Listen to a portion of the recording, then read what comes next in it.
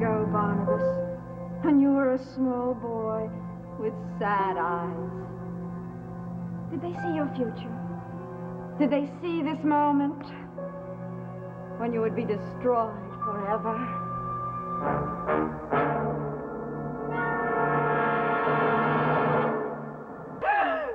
Who are you? What do you want? I'll relieve you of these and then we'll talk.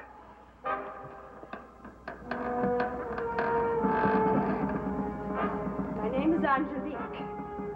Perhaps you've heard of me. How did you get in here? Dirk! Dirk! Don't bother, he won't answer you.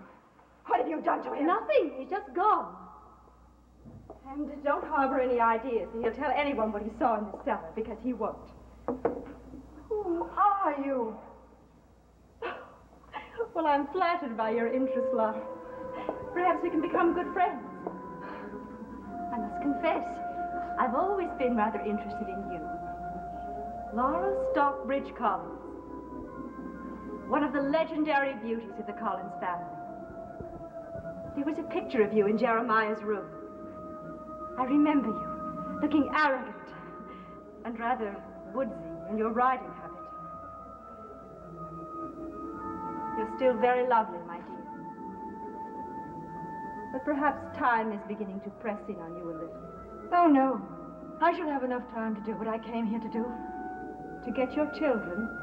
That doesn't concern you, does it? Barnabas Collins concerns me very much.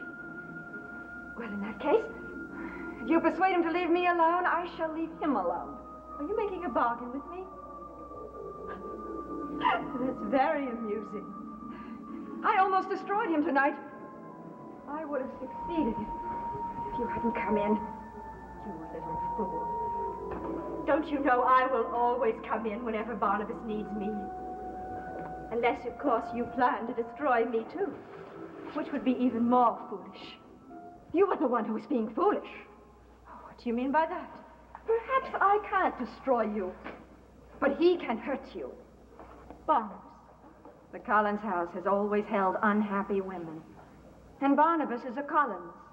Rather different from the others, I think.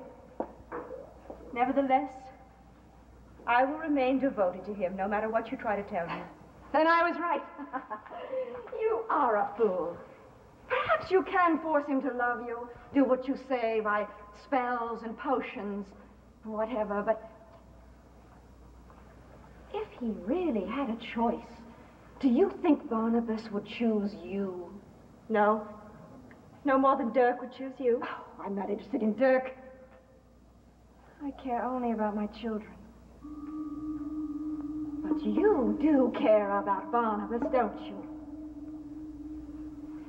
How does it make you feel to know that you are, are succeeding as a, as a, whatever you are, but failing as a woman? Let me finish what I started to do. Perhaps we would both be much better off without him.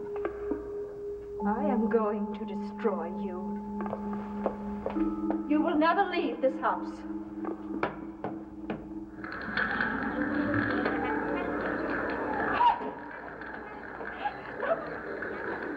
I must warn you, I am not without powers. And it's good to see that you are not without fear. Till we meet again, my dear Angelique.